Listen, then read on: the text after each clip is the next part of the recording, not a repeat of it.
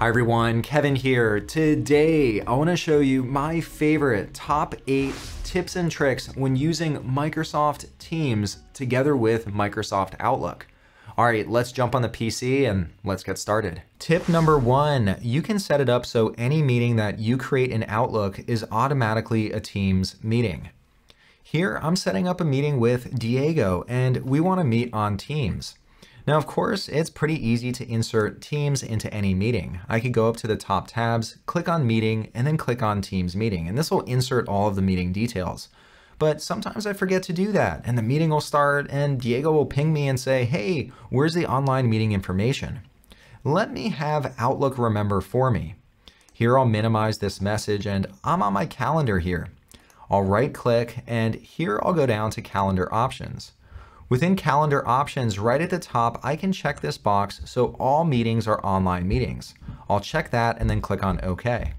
Now, when I go up to new meeting, look at this, it automatically includes Teams meeting information, so I don't have to remember anymore. And I can do this on the web as well. Here I am in Outlook on the web, and within the calendar view, I'll go up to the top right hand corner and click on the settings gear. At the very bottom of settings, I'll click on view all Outlook settings. Within the calendar view under events and invitations, here too there's also a checkbox for add online meeting to all meetings. I'll check that and then close this out. Now, when I click on new event and I add an attendee to this event, it'll automatically toggle on a Teams meeting. Tip number two, you can drag and drop content from Outlook into Microsoft Teams. Here I have an email from my manager, Patty, and it looks like I just won Employee of the Month. I wanna make sure the rest of the company knows about this. Here I can take the attachment and I'll drag and drop it over into Microsoft Teams in this conversation as part of this channel. Here this will upload the message and now I can share it out with the channel. Along with being able to drag and drop directly into a channel, here I'll click into another channel and let me click into Files. Here I can see all of the files associated with this channel. Here I can drag this attachment over and I'll drop it right over here and this will place it into the files view. As an added bonus, if I want to make sure everyone notices this file, here I can hover over it, click on the ellipsis, and here I can pin my file to the top. Now, none of my coworkers will miss that I was employee of the month. Tip number three, Outlook and Teams are, let's just say, in sync. Anything that I create over here in Teams also shows up in Outlook. And this applies to meetings, to tasks, even your out of office messages. Let's take a quick look. Here for tomorrow, let me create a meeting. We have pigeon delivery at the Kevin Cookie Company, but for some reason, none of the cookies are being delivered. Here I'll create that meeting and I'll save it. Over in my Outlook calendar, here I can see that same event. Both Teams and Outlook rely on the same backend service, so any event created in Teams or created in Outlook will also show up on the other one. This also applies to tasks. Here in Outlook, I'm currently in the task view, and I have a few tasks coming up that I need to complete. So I can see them in Outlook, but can I also see them in Teams? Back within Microsoft Teams, over on the left-hand side, you'll notice that there's no option called Tasks. Don't worry though, we can still get back to our tasks. Here at the bottom, click on the ellipsis and search for an app called Tasks by Planner and To Do. When you click on that, this will open up a dedicated task view within Teams. And here I'm on the main tasks view, and here you'll notice that the same exact tasks that we saw in Outlook also now show up in Teams. And these two also rely on the same backend service. So the same set of tasks that show up in Teams will also show up in Outlook. If you like looking at your tasks within Teams, you can get back to this view very quickly. Over on the left-hand side, you can right-click on tasks and here you could pin it. So this way you won't have to click into the ellipsis to find this app. It'll just show up as part of this default set. The synchronization doesn't just end there. You can also set your out of office message in Teams and that'll be synced across Teams and Outlook. Right up in the top right hand corner, you can click on your profile picture and right here click into settings. Within settings under the general view at the very bottom, you'll see out of office. Here you can click on schedule and you can turn automatic replies on. You could type in your message and you could also configure these other settings. I'll click save. Within Outlook, I can go up to the File menu and then click on Automatic Replies. Here you'll see that they're currently turned on and the same exact out of office reply message shows up right here. So I can set this in either Teams or in Outlook when I need to take some time off. Tip number four, you can even check your email directly within Teams. Within Teams, click into one of the channels and right up on top, click on the Add a Tab icon. And right here, go over to the one called Website. You can also search for it right here. This will open up a prompt, and for the tab name, I'll type in email. For the URL, I'll type in outlook.office.com and then click on save. This adds a new tab on top for email, and when you click on this, this will open up my inbox directly within Microsoft Teams. So you truly can just do just about everything from within Microsoft Teams. You don't really have to go to Outlook anymore, or at least Outlook separately. You are still going to Outlook. Also, keep in mind that when anyone on your team comes in and clicks on email, this will bring them to their inbox. Tip number five, I can very easily and quickly share messages from Outlook to Teams and from Teams to Outlook. First, let's take a look at how we could send it to Teams. Here in Outlook, I have an email from Diego, and we're trying to figure out where we want to eat lunch. Now, he sent this message to both me and Nestor, but I want to include Patty as well. Except Patty doesn't really spend much time in Outlook. She tends to live in Teams, so I need to make sure I get this message into Teams. There are a few different ways I could access this. Right up on the Home tab within the ribbon, there's an option to share to Teams. I also have a similar option under the ellipsis right here, but I'll click on this option to share to Teams. This opens up a prompt to share to Teams and I'll type in Patty's name.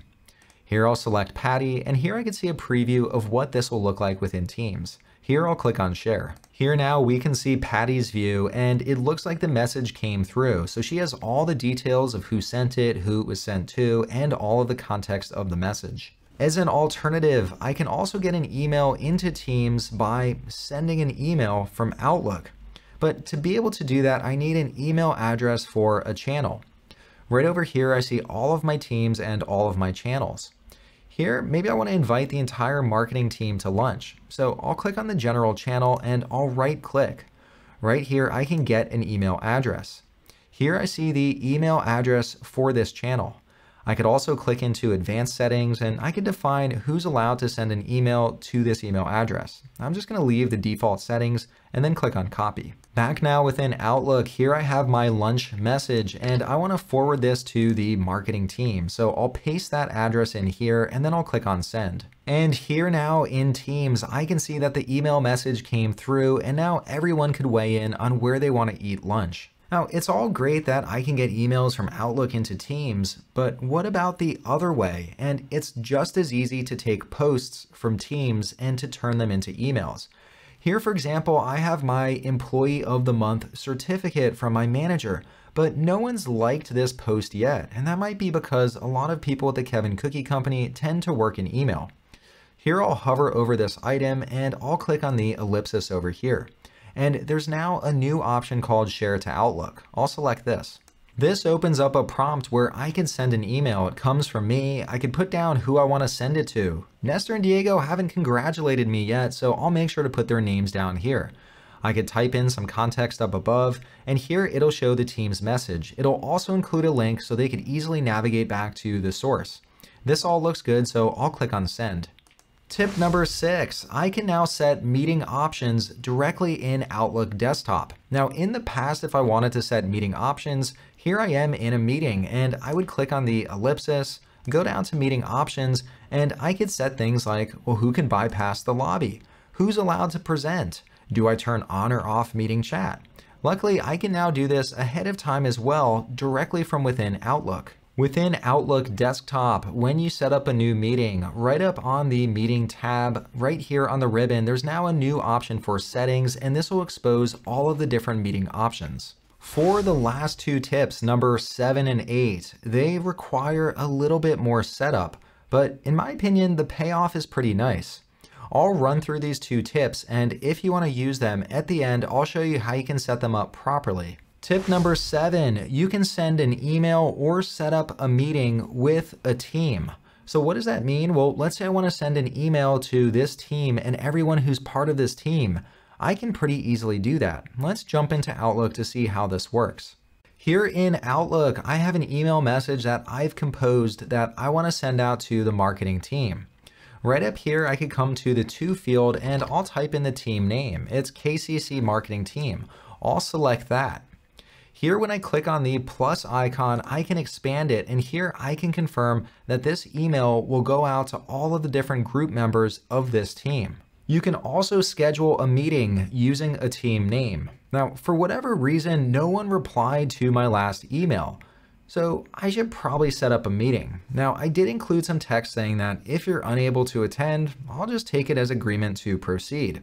Uh, hopefully no one notices that it's 4 a.m.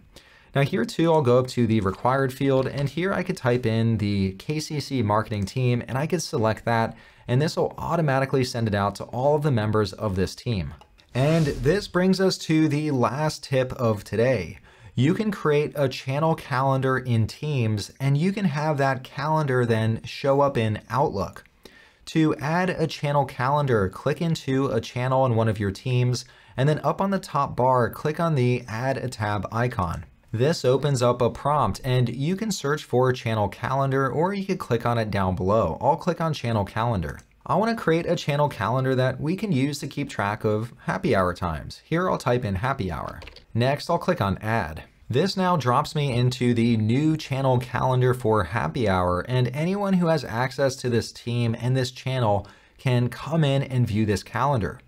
It's a little bit barren right now, so I need to add our first happy hour. Let's maybe add it between 1 and 5 p.m. tomorrow. We work really hard here at the Kevin Cookie Company we're celebrating the launch of the triple Choco Choco Chip cookie. Now, typically for attendees to see this on their calendar, I'd have to add each person's name here.